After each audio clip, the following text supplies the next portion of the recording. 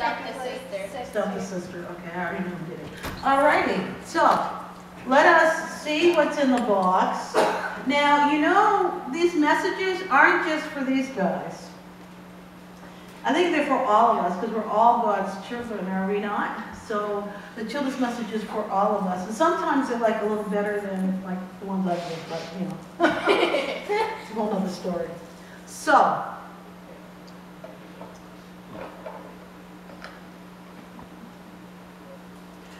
a ring, it's a balloon, ring, a balloon ring. Staple remover, were you in my office? A staple remover. Balloon staple remover, and a little coin that says frog fully rely on God. Can I keep the, the frog? Oh, okay. Nobody knows who put it in. Okay, cool. So we got a fully rely on God frog little medallion thingy here. And it says, fully rely on God, Isaiah 26, 4. Um, I'll have to look that up, make sure that that's what it says. And we have a staple remover. I idea who this thing. And a ring balloon.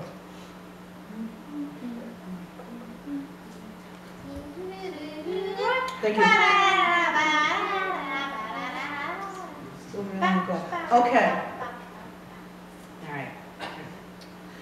Now, you guys being my children know that one of the, the sayings that I've had probably for years, probably since I came back to Jesus Christ, um, after a long time away, was frog.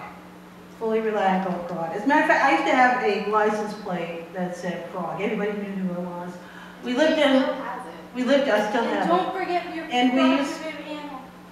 And we used to live in New Hampshire where there were a lot of um, people, and they'd say, you don't look like a frog. And I'm like, no, fully rely on God. so, fully rely on God. That is something that I lived with, and that's something I'd like for you, we all actually should probably try to live with, is fully rely on God, because when we try to rely on ourselves, well, a lot of times, well, we mess it up just a little bit trying to rely on our own strength and our own whatever we do. And you got to remember that through life, that um, you never walk alone. God is always with you. God will always guide you as long as you ask. You got to ask first, right? Because God is not going to push himself on you. Remember, you need to fully rely on God. And so, um, we receive a promise from God, kind of like a signet ring, kind of like a stamp on our foreheads. Kind of like back in those days, they would give like a signet ring, like the um, kings would give a signet ring to somebody who was somebody of great importance type of thing, who would um, carry out the stuff that the king would have them do. And it was that signet ring that helped them. Well, we have a signet ring, the Holy Spirit. See, we are, we have that, that brand on us is the Holy Spirit. And having that signet ring and having that brand, that, that brand we have on our forehead, we have to be out doing what the King wants us to do. And we do it in His name, not our own, because it's not our signet ring, it belongs to God. And God has given that to us as a gift as when we accept Jesus Christ. Now, there are times in our lives that well, we need stuff removed from our lives.